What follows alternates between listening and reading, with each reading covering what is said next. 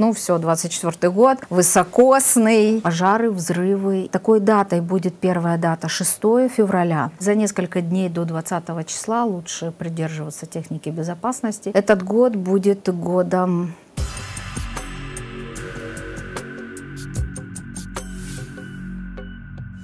Привет! Вы смотрите канал People Life. Благодарю вас за то, что вы с нами. Подпишитесь на наш канал, если еще не подписаны. Эм, у нас много интересного эм, продукта, контента, и каждое видео интереснее предыдущего. Оставайтесь и сейчас с нами. У нас в гостях астролог Альбина Пономаренко. Альбина, здравствуйте.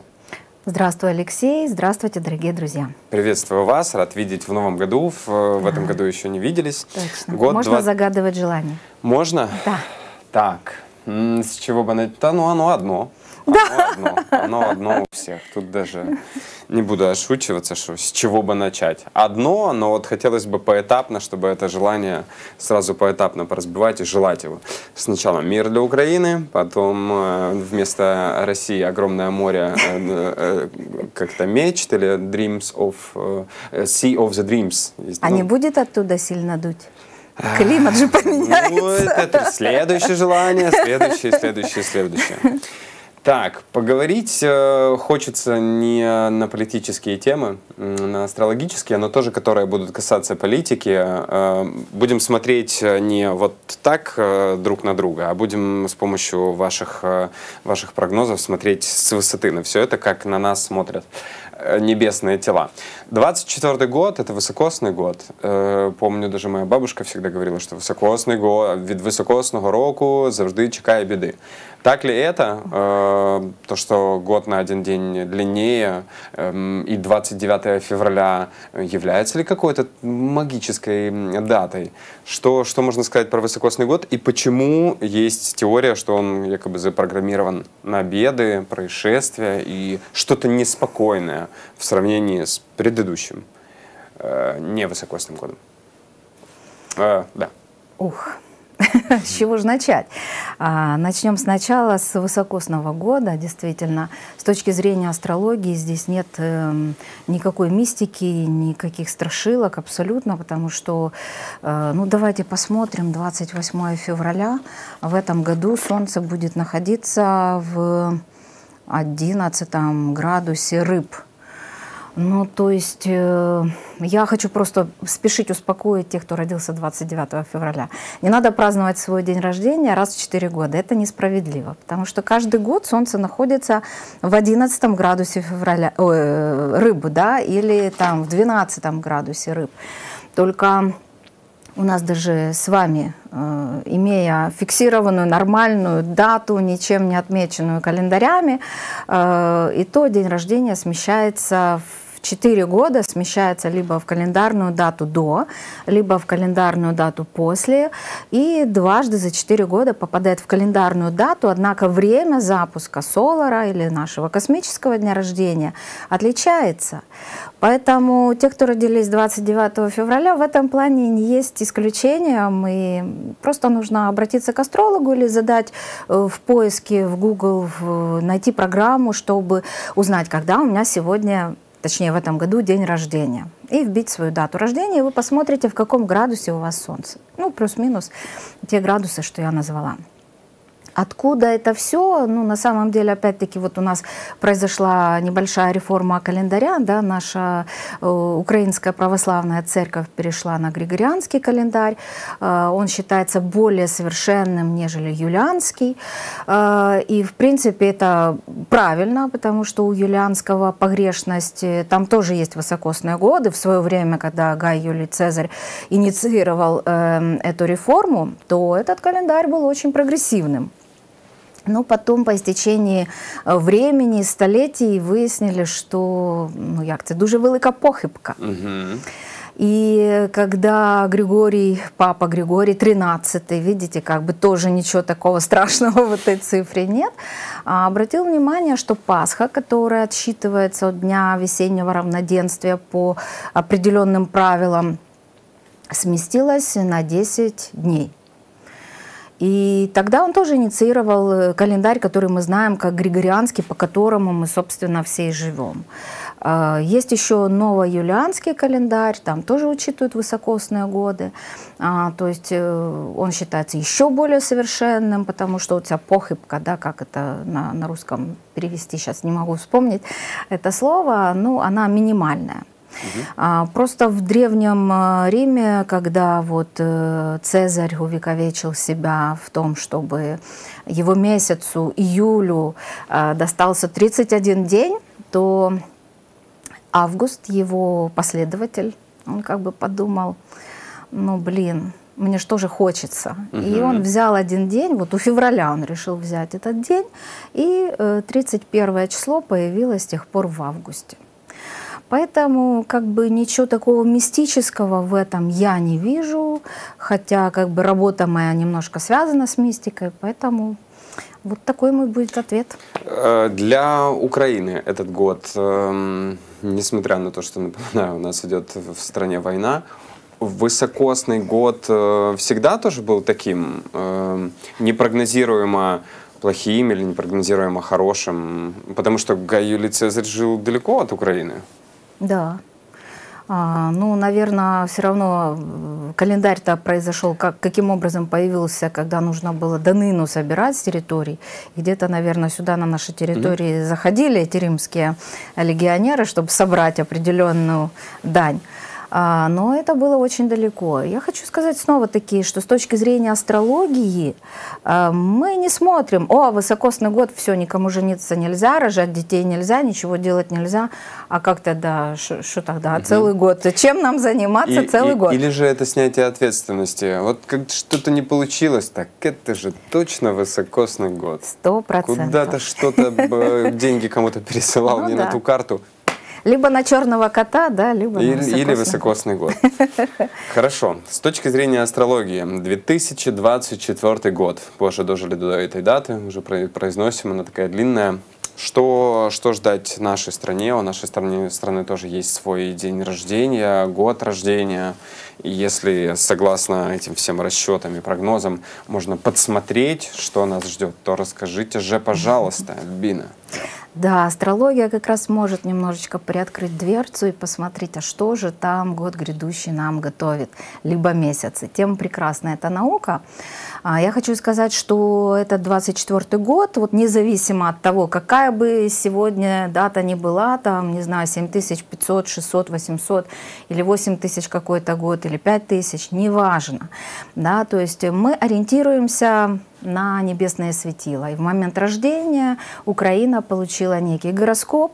А, вот согласно ему я и смотрю все влияния планеты, и это первично. Так вот, хочу сказать, что этот год будет годом перемен.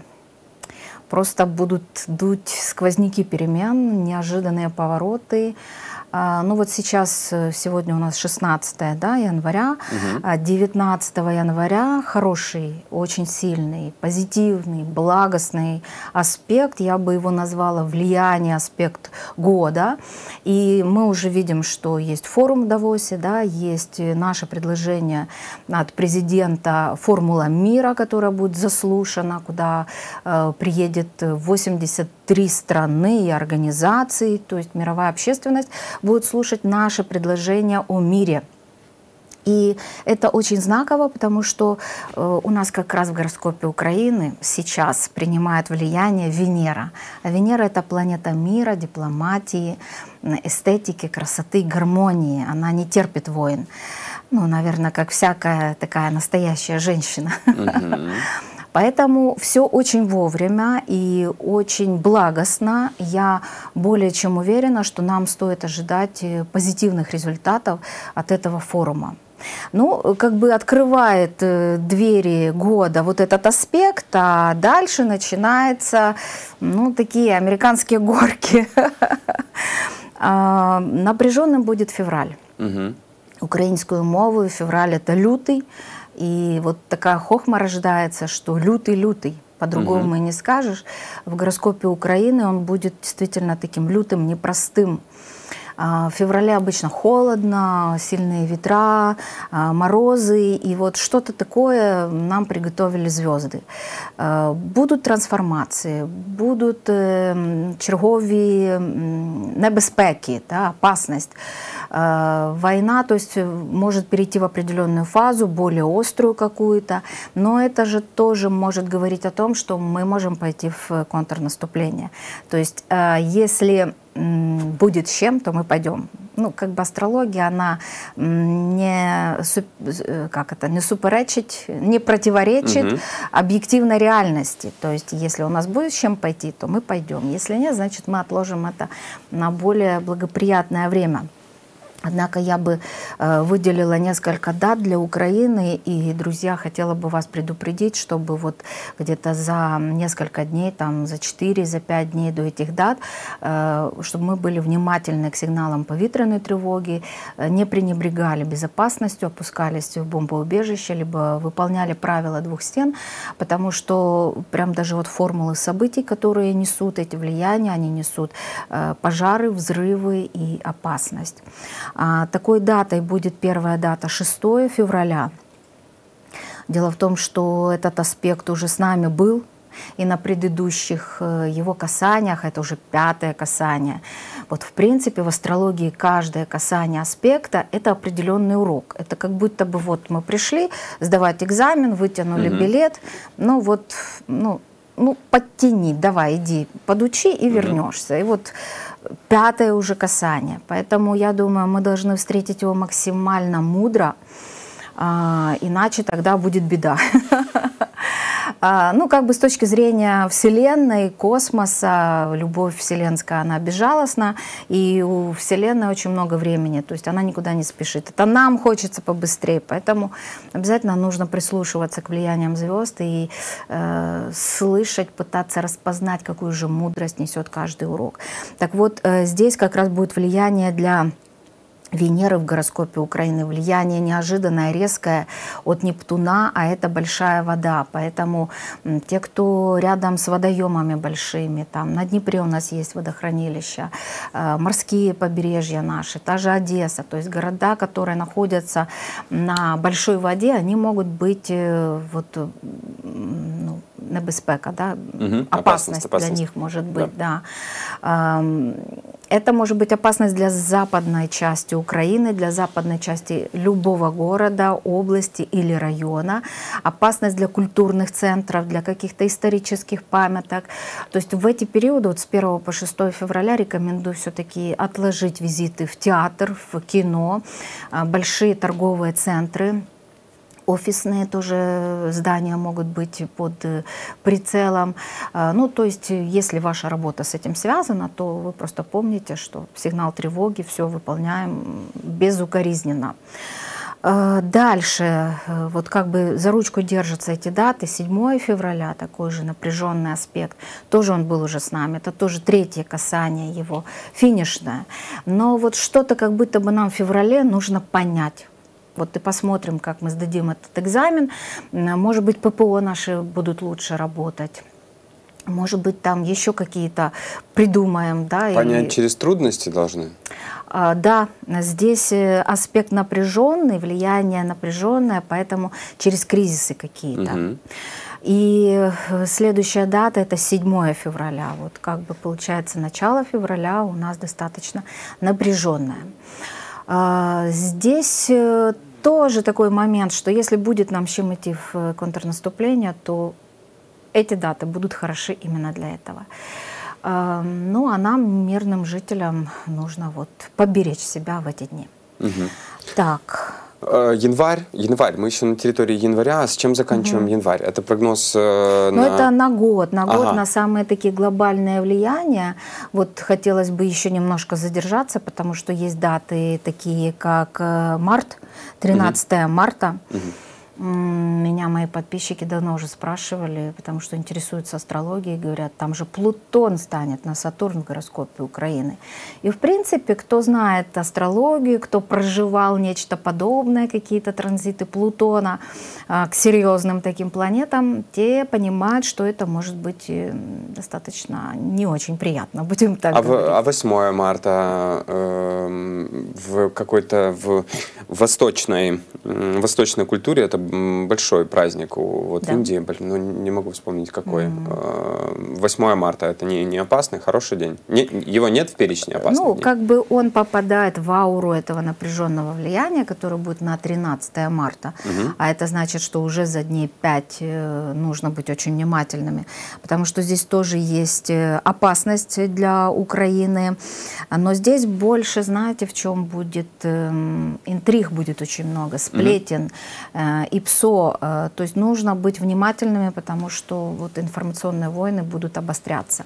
Как внутри Украины, разборки, поклепы, хейт, будет просто процветать, да, но с другой стороны, а, здесь еще просто есть формула правонарушения, я все-таки надеюсь, и влияние от Плутона к Сатурну, это две планеты, которые отвечают за политику, за систему, за закон, за большие деньги, за большие массы людей, и это две очень важных планеты для Украины.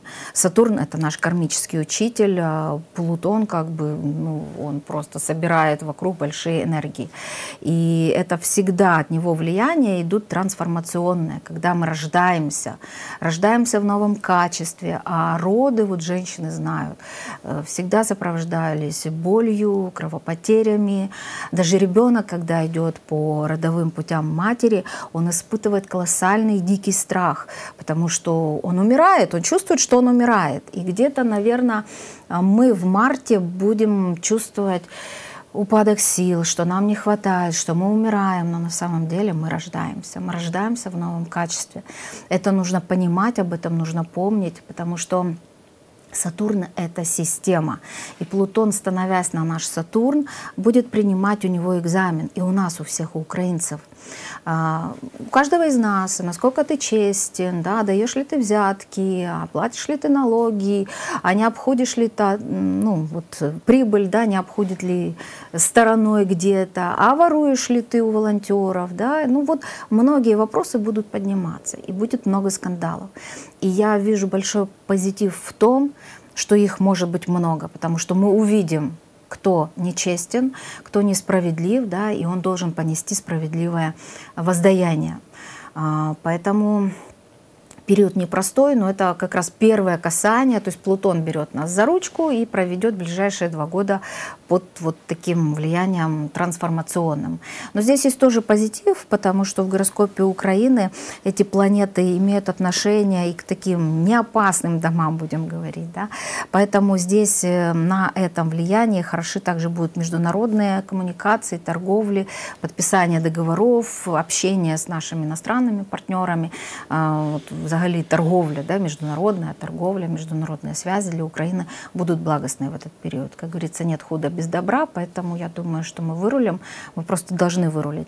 Но первое касание всегда стрессовое, а дальше вот там будет 24 июня второе касание должно быть легче, потому что мы угу. должны иметь уже некий опыт да, реагирования на этот стресс.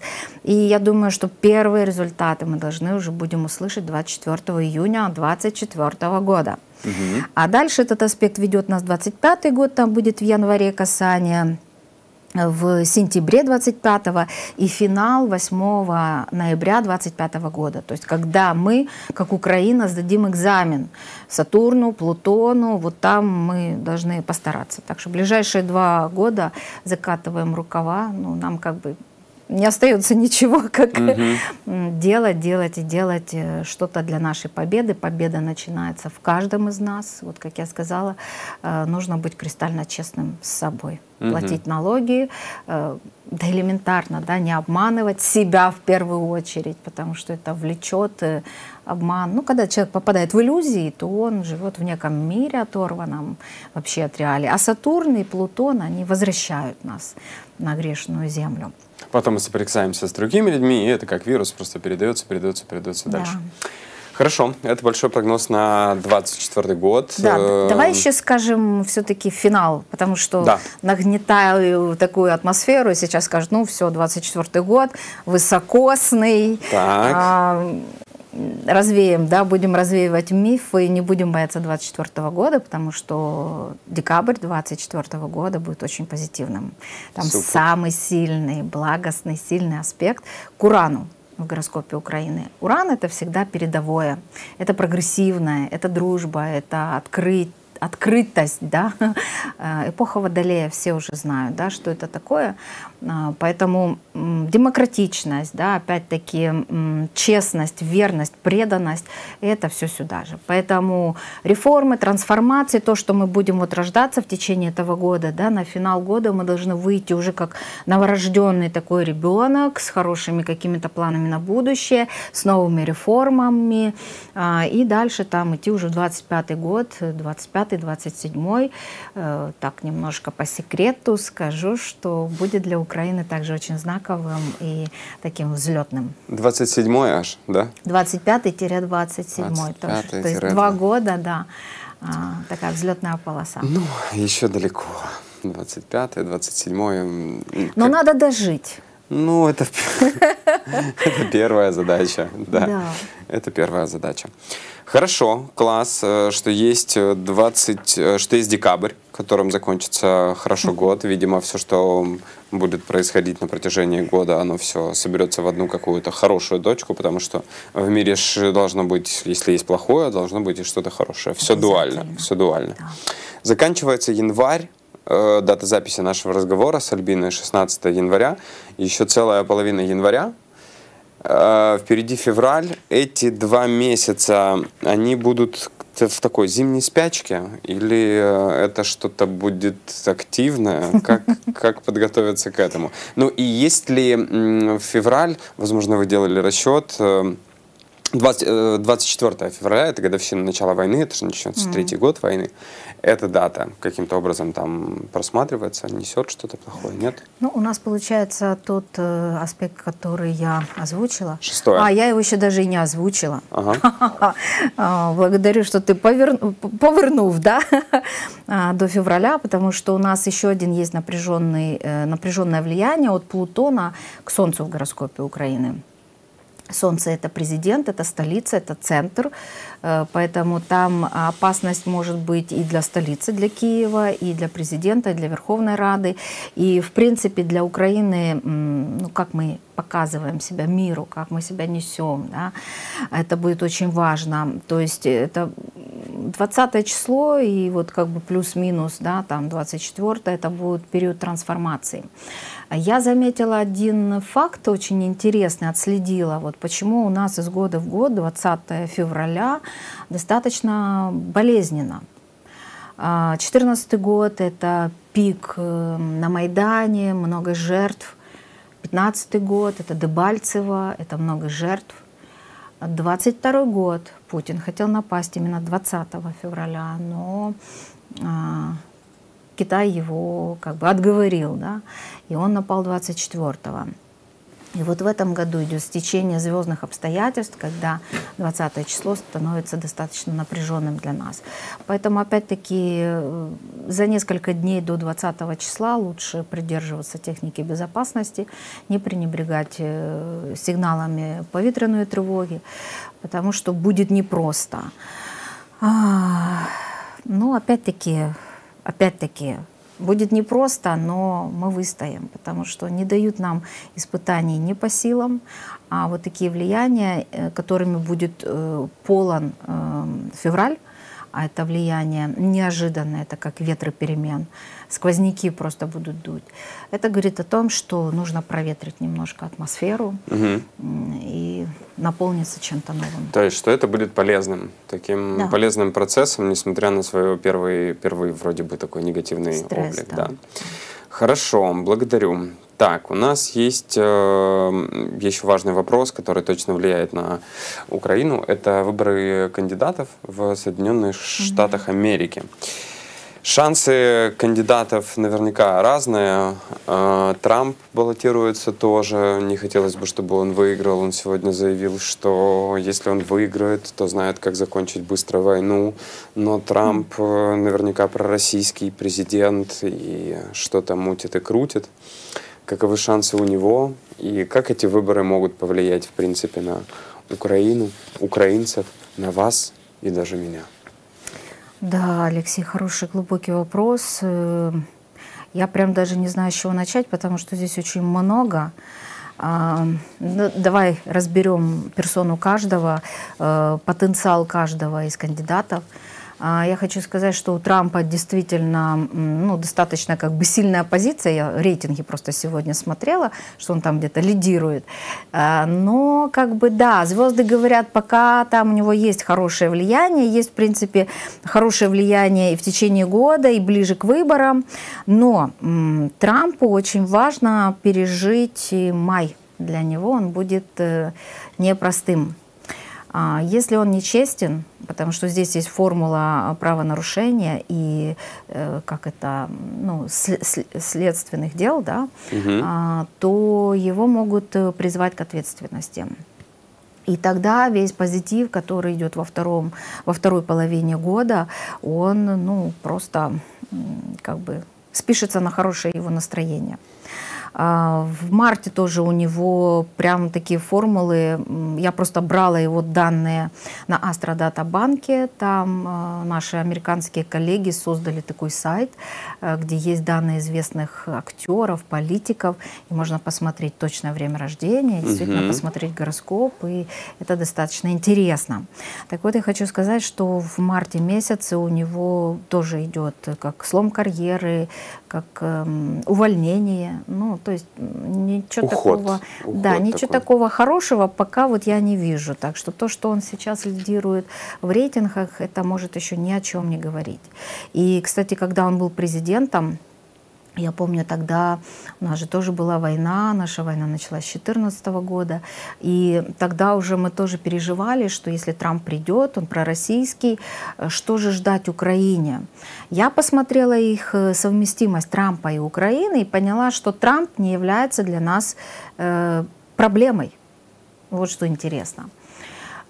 Поэтому ну, давайте возьмем, будем разные варианты смотреть, да, и если вдруг он победит, ну, не думаю, что он может сильно нам испортить эм, ход истории, потому что если вот брать совместимость эм, Америки и Украины, а это, наверное, куда более даже важно, потому что кто бы ни был президентом, все равно он выполняет какие-то миссии, все равно есть какое-то общее влияние, общая тенденция, и ему ну, как бы свою волю, попри эту волю, да, глобальную, будет сложно проявить.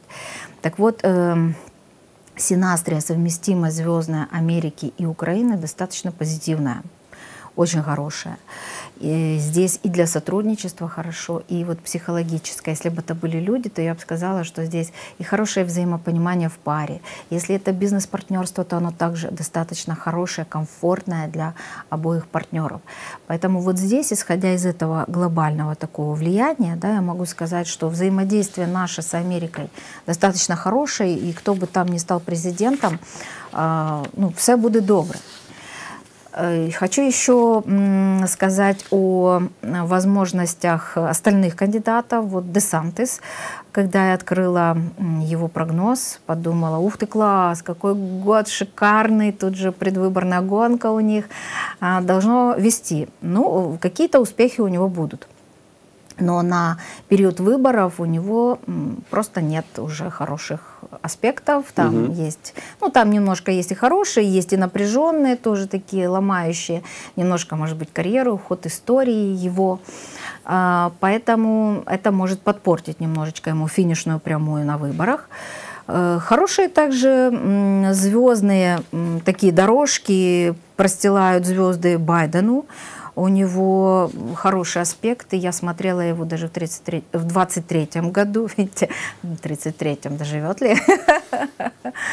а, потому что угроза импичмента была. Вот я посмотрела угу. его прогнозы. Ну, как бы да, там появлялись такие моменты, все точечно срабатывало, но импичменту вроде бы как ему и не светил импичмент. А, поэтому я посмотрела прогноз на 24 год и увидела, что 24 особенно на период выборов, достаточно хорош. Там у него успех, и уран э, в хорошем влиянии к его Юпитеру. Это новое, это прогрессивно, Юпитер это статус. А, снова таки данные я его брала на Астродатабанке, поэтому можно посмотреть, кто интересуется астрологией, можете вот проверить сами. А, так что аспекты у него хорошие, потенциалы у него хорошие. А, но есть еще кандидат, женщина, Ника Хели. Вот я ее смотрела последней, и когда я открыла, я просто сказала «Вау!». Год успешный. На выборы у нее есть также сильное позитивное влияние. Там Плутон, вот мы сегодня рассказывали о Плутоне, который влияет угу. так, не просто на Украину, то у нее это будет влияние достаточно сильное, амбициозное. Это аспекты славы, аспект известности, популярности, такого ну, идола, можно сказать. Поэтому для политика это хорошо. И я уже как бы подводя итог этого анализа, могу сказать, что больше все-таки шансов у Байдена и у Ники Хелли, если вот суммировать все влияние. А, но, кстати, посмотрела каждого перед выборами где-то там с июля по октябрь месяц, вот у каждого из них есть напряжение. Так что не знаю, что-то там будет э, на этих предвыборных перегонах, достаточно интересно. А может быть, это просто говорит о том, что каждый из них включится, и когда уже на финише, то есть нужно больше-больше вкладываться, и это ну, дает определенные стрессы всегда. Угу. Может женщина, да, победить? Может, да. У нее очень большие шансы. Может женщина. Интересно. Женщина как глава государства Соединенных Штатов Америки. Очень бы хотелось верить, что она нам бы помогла в, в наших э, военно-политических делах. Что э, в таком случае звезды говорят про Зеленского? Это же тоже напрямую влияет, да. э, э, ну, связано угу. выборы в Америке и с Зеленским, потому что Зеленский, когда ездил к Байдену, то он принимал, как, как, как будто дедушка принимает э, внука. Э, мне кажется, что там тоже есть какой-то личный контакт, когда э, Зеленскому э, к Зеленскому благосклонны, потому mm-hmm. что это Зеленский, есть какой-то есть какой-то контакт. Э, насколько его судьба будет складываться в этом году в, на мировой арене, в Украине, в, в личных каких-то У него достаточно тоже сложный год. Вот его гороскоп резонирует э, с температурой, с тем напряжением, которое я озвучила для Украины. Видимо, он будет очень сильно включен в это все. А, я тоже думаю, что личностный момент, момент симпатии между политиками а, – это очень большой бонус и плюс. И хорошо, что у нашего президента есть такие симпатии. Да? Не у него, а у мировых лидеров есть симпатии к нашему президенту непростой год будет. Э, вот в марте месяце у него идут эм, достаточно напряженные влияния, которые дают ему, ну, так, плюс-минус, потому что время-то нашего президента мы не знаем. Украинские астрологи не придумали такой астродатабанк, чтобы вводить туда данные. Возможно, мы когда-то это сделаем.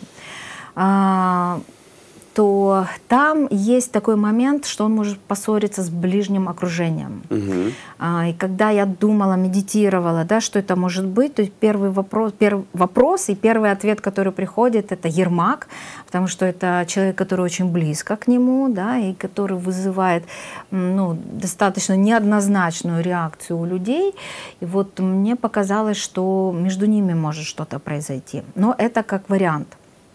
Потому что э, ближнее окружение – это братья, сестры, кузины, кузены, соседи, э, контакты коммуникации. То есть это не обязательно Ермак, а это может быть кто-то из команды, например, uh-huh, президентской, uh-huh. из администрации, там, радники э, и так далее. А, ну а дальше вот тоже на конец года, на ноябрь, на декабрь, туда ближе, даже в ноябре у нашего президента хорошее идет влияние. То есть год для него также будет непростым, трансформационным. А ему, наверное, так же, как и нам всем нужно будет что-то в себе найти, ответы на глобальные какие-то вопросы и достойно прожить этот год, а на финал уже года можно будет расслабиться, можно даже не то что расслабиться, а получить законную какую-то награду, публичность, звание, признание. А, ну вот такой год предстоит ему, непростой. Угу. Непростой, как и предыдущий. Угу. И при том, что все так надежду, надежды покладают на этот год э, и с точки зрения окончания войны. И, а, а Зеленский наверняка же все, на него это ложится в совершенно другой форме. Конечно. Мы просто возлагаем, а на него это ложится. Да, как ответственность. Как ответственность. Угу. Хорошо, благодарю, благодарю. Это был прогноз для Владимира Зеленского на 24 год.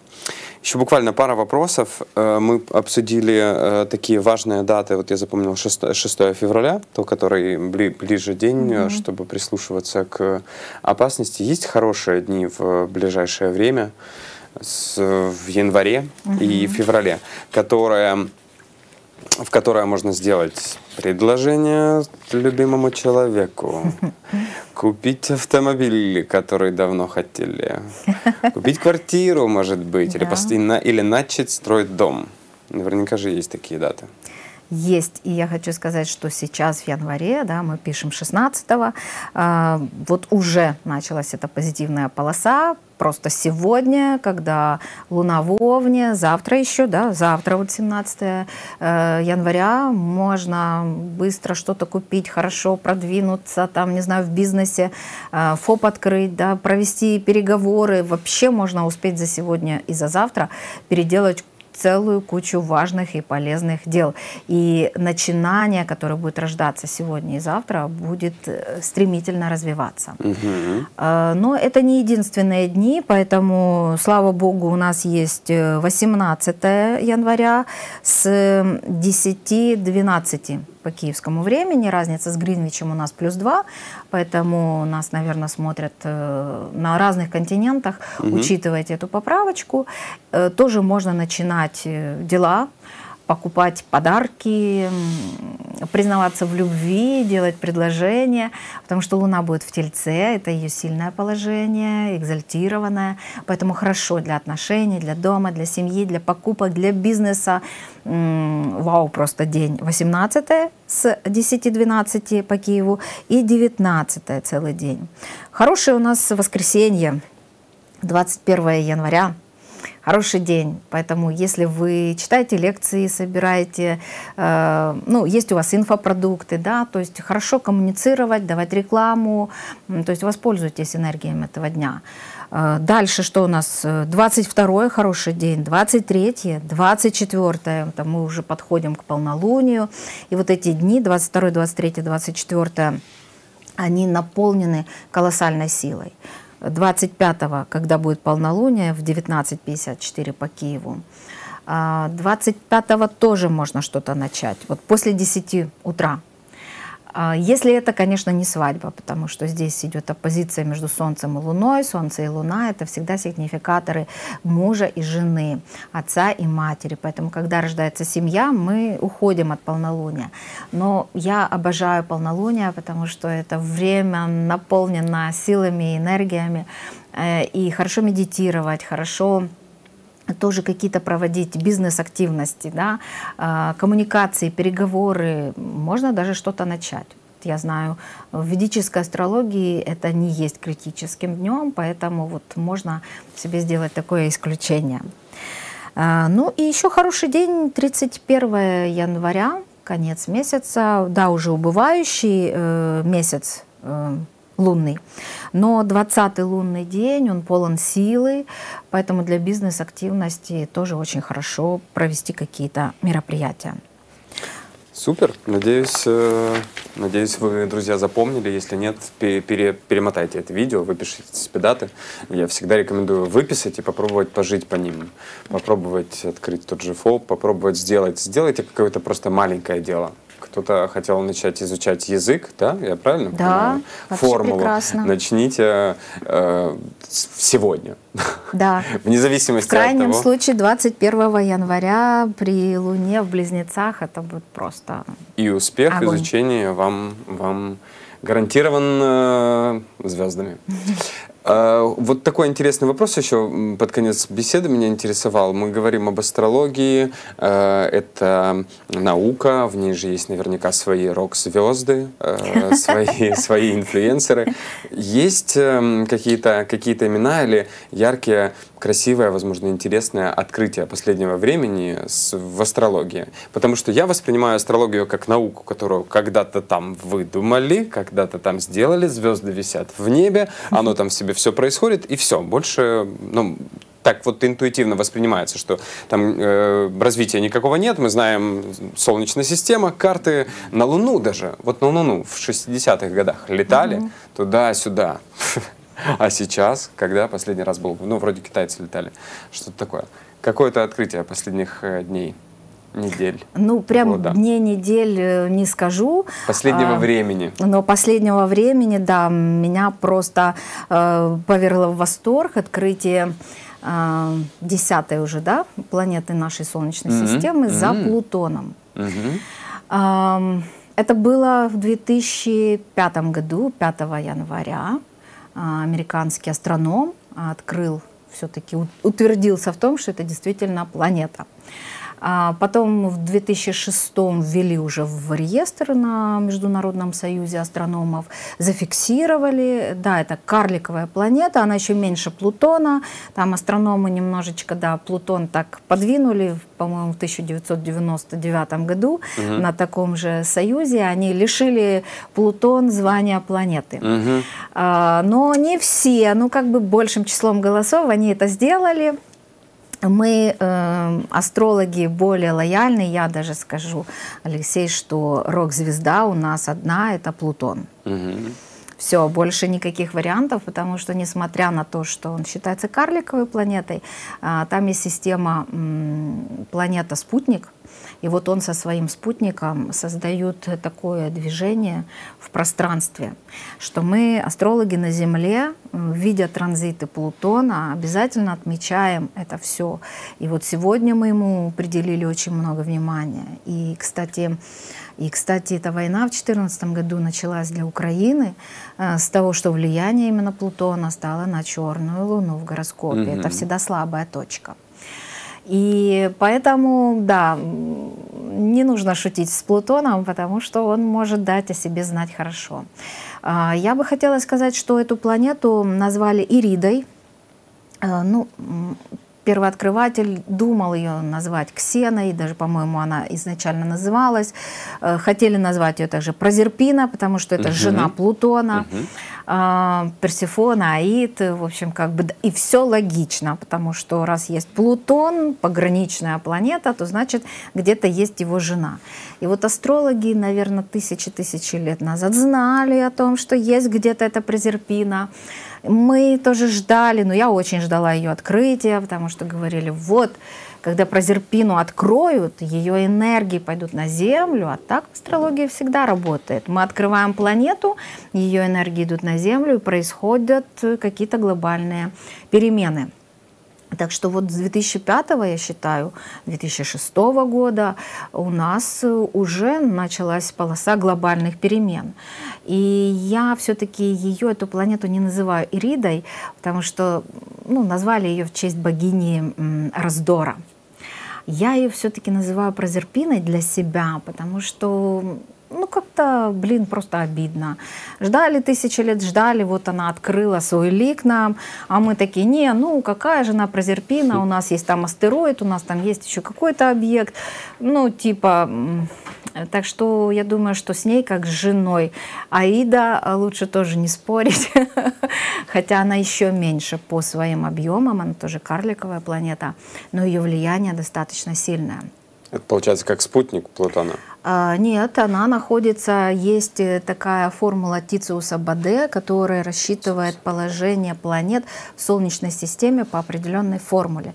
И вот это место, оно уже было рассчитано когда-то.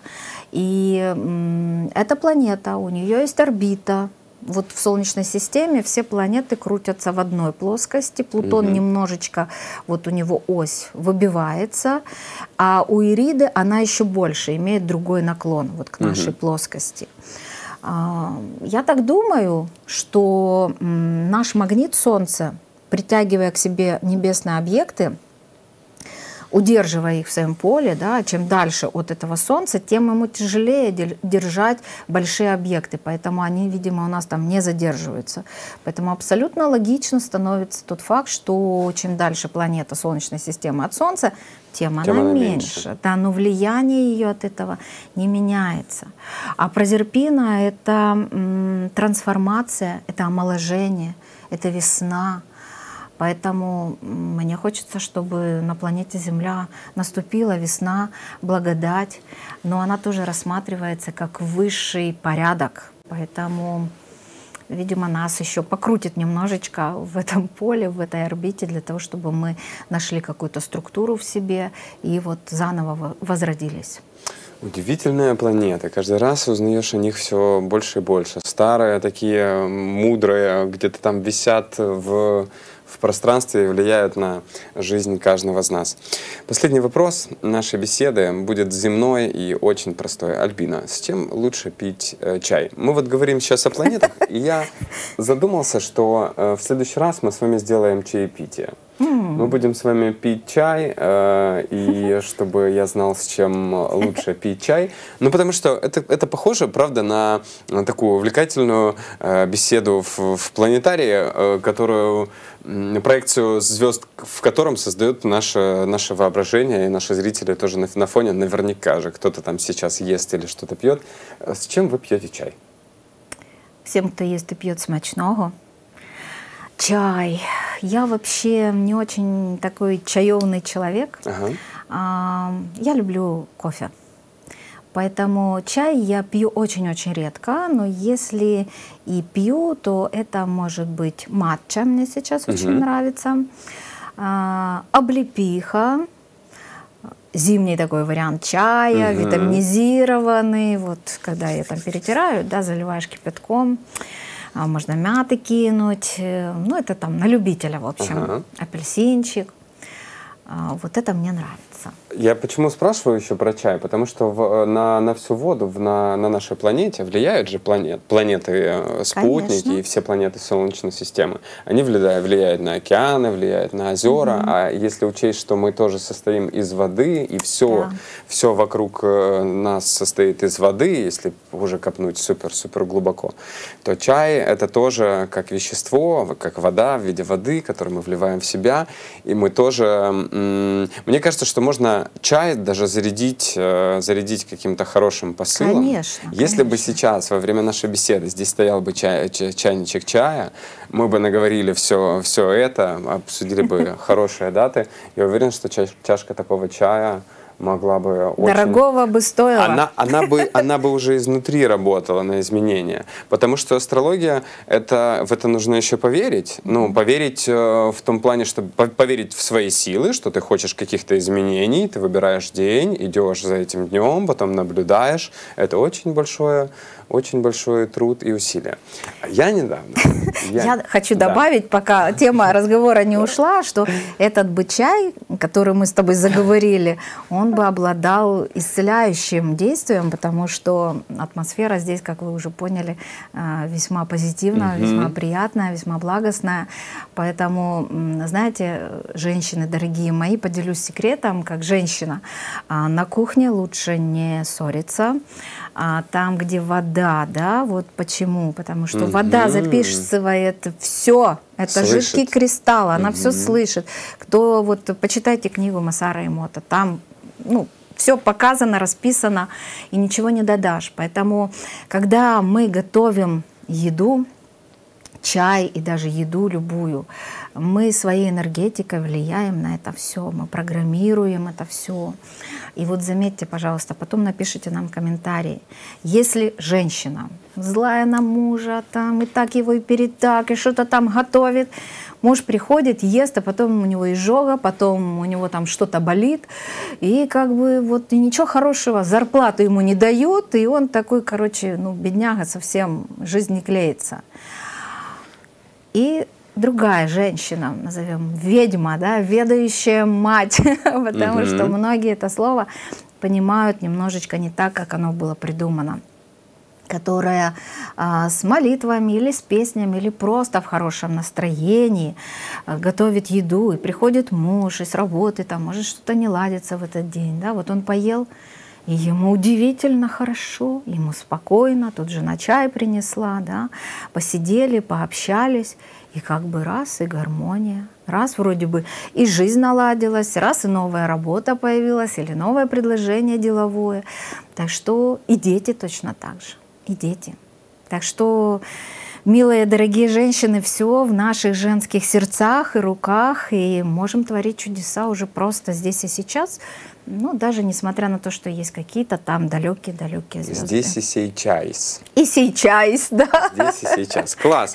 Если бы не вопрос про чай, я бы, я бы никогда не знал, что ругаться на кухне плохо. И что... А знаешь, я тебе еще хочу сказать, что... Ругаться вообще в принципе ну, плохо, да? Это понятно, хотя ты знаешь, все-таки уметь конфликтовать, уметь отстаивать свои интересы, это тоже практика духовная.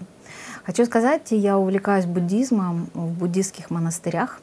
Самый просветленный монах, только самый просветленный монах имел право готовить пищу для монахов тот, который с самым чистым сердцем, да. самыми чистыми помыслами, самой большой любовью.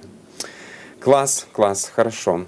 Класс. У меня уже зрители за класс. Алексей, вы ваш класс. А что тут плохого? Да у меня класс просто с одного кармана торчит, с другого кармана торчит, с третьего выглядывает и за спиной стоит.